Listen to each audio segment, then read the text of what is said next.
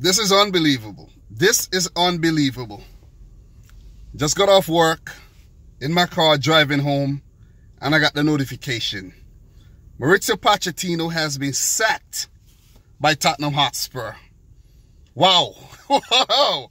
Wow. Guys, my initial reaction is just wow. Unbelievable. This is a man who took this team to the Champions League final against all odds. Against all odds. A rough start to their group phase campaign last year. Turned their fortunes around. Smashed Borussia Dortmund. They got past Ajax miraculously, but they were beaten by league rivals Liverpool. But the thing is, the thing is, after qualifying for Champions League football again, Tottenham has been horrible this season. Horrible. Horrible. 14th in the league. Only three wins this season, I think. They haven't won away since January. He has lost the dressing room. Or rumors say he has lost the dressing room. Guys like Vertonghen, Alderweireld, Danny Rose, Christian Eriksen want out of the club. Tottenham is in a mess. They're in a crisis right now. And the breaking news, more to follow. The more to follow is that Mauricio Pochettino, the Argentinian manager, has been sacked by Tottenham Hotspur.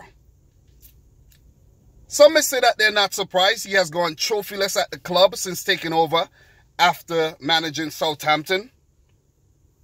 But the former Espanyol man, the former Espanyol manager, has been sacked by Tottenham Hotspur. This is simply unbelievable, guys. Daniel Levy and Tottenham Hotspur, they're playing no games over there. New stadium and all, but the record has been horrible this season, man. Small club results. And I know Sheffield United is a small club and they, you know, doing big things. But Tottenham, Tottenham, man, you need to do better. You should have been doing better. 14th after 12 rounds is not good. It's just poor. It's simply a poor, poor, poor performance. And oh, guys, earlier I did not mention that they did get past my team, Man City. I'm wearing a Juventus hat just, just for sport, though. Got it for cheap. Love football merch. Plus, it's warm. But Tottenham Hotspur has sacked Mauricio Pochettino. Guys, what's your initial reaction? Let me know in the comment section down below. More will follow. More will follow. This is just an initial reaction. Didn't get too much information from the source, but they said it's been confirmed during the international break too. So they will come back after inter after the international break to resume their Champions League duties and the English Premier League duties. Maybe with a new man. Who knows? Would it be Mourinho? Who would it be, guys? Who would it be? Who are the favorite candidates to take over at Tottenham with the sacking of Mauricio Pochettino? Let me know in the comment section down below. Guys, if you're new around here, consider hitting the subscribe button, smashing the thumbs up button.